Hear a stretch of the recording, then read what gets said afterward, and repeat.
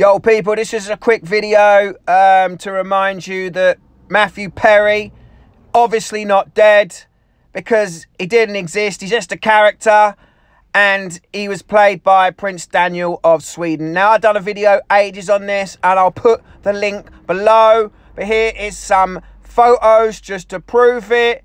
It's all fake. They all actors. Stop believing the lies. Peace.